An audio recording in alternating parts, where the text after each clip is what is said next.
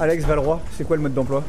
Euh, le mode d'emploi, euh, on l'a pas, hein, parce que le cheval, dès qu'il court des petites catégories, il est sage, et dès qu'il court les bons, il est pas sage, à chaque fois. Et à chaque fois qu'il court les bons, il est déféré des postérieurs, donc euh, on le laissera faire ce coup-ci, on espère que, on espère que c'est ça le problème. Il doit à tout prix rassurer? Oui, on sait qu'il est doué, mais à chaque fois qu'on veut taper dans le haut niveau, il fait des blagues. Espérons que ça soit qu'un problème de ferrure. Qu'est-ce qu'on en attend vendredi On attend qu'il rassure, euh, on attend qu'il qu'il nous rassure et qu'il fasse le, le tour au trot déjà.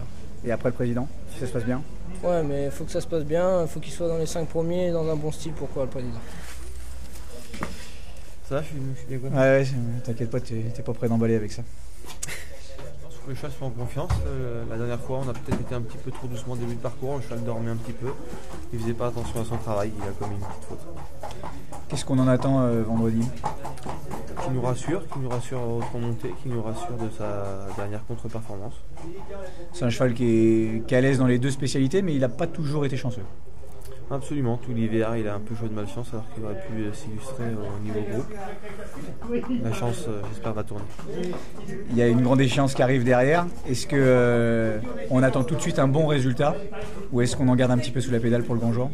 Non, mais là, on a l'avantage de partir 25 mètres devant les deux juments de Jean-Philippe Dubois, Victoria Drib.